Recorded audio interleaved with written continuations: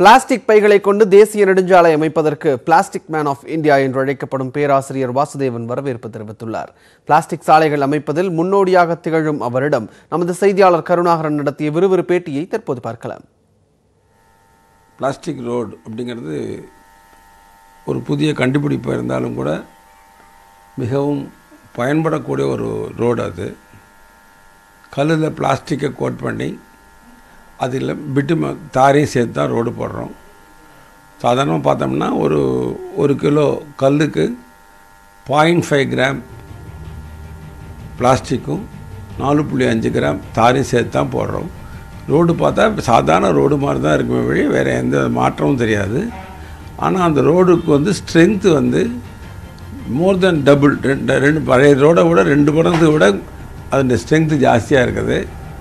அது மழை பெஞ்சாலும் தண்ணி தேங்கினாலும் பாட் ஹோலே ஃபார்ம் ஆகலை. ரெண்டாயிரத்தி ரெண்டுலேருந்து நாங்கள் போட்ட ரோடு எல்லாமே ரொம்ப நல்லா இருக்கு. இன்னி வரையில் எல்லா நேற்று கூட நான் பாம்பே சென்றபோது அங்கே பிரபாவதி ஸ்ட்ரீட் பிரபாதேவி ஸ்ட்ரீட்னு ஒரு ரோடு ரெண்டாயிரத்தி மூணு போட்ட ரோடு இன்றைக்கி நல்லா இருக்குன்னு சொல்லிட்டு அந்த இப்போ அங்கே இன்ஜினியர் சொன்னாங்க. ஸோ அந்த பிளாஸ்டிக் ரோடு எந்த விதத்தினாலும் மழையினால் பாதிப்பு ஆகலை. தண்ணி தேங்கிறதுனால பாகலை ரோடு ரொம்ப நல்லா இருக்குது ஸோ அப்பேற்பட்ட ரோடு நம்ம ஊரில் எல்லா இடத்துக்கும் போட்டால் நல்லா தான் இருக்கும்.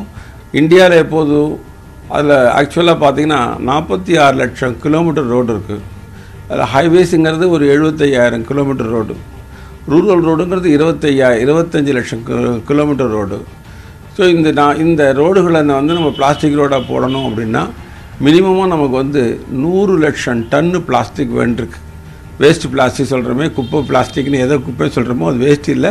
அது ரிசோர்ஸ் பிளாஸ்டிக்னு அதன் மூலமாக ரோடு போட்டோம்னா இந்தியன் ரோடெல்லாம் ரொம்ப நல்லா போகும். டூ எயிட்டி மைக்ரான் யூஸ் பண்ணலாம். தர்மோகோல் யூஸ் பண்ணலாம். ஃபோம்ஸ் யூஸ் பண்ணலாம். டீ கப்பு யூஸ் பண்ணலாம். இது எல்லாமே யூஸ் பண்ணலாம். திக்னஸ் தான் முக்கியம். இதை இதை கட் பண்ணி ஷெட் பண்ணி two mm to four mm size cut பண்ணணும்.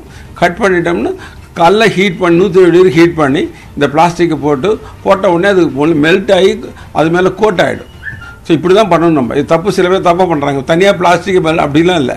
ஹீட் பண்ண கல்லை கையில் வர வந்த உடனே அந்த கல் மேலே இந்த பிளாஸ்டிக்கை போட்ட உடனே பட்ட உடனே மெல்ட் ஆகிடும் உடனே அதுக்கு மேலே தாரை ஊதி மெல்ட்லாகிறதுக்கு முப்பது செகண்டு தான் ஆகும். உடனே தாரை ஊற்றினோம்னா இந்த மிக்ஸ் ஆன ரோ மிக்ஸி அதை எடுத்து உடனே ரோடு போடலாம்.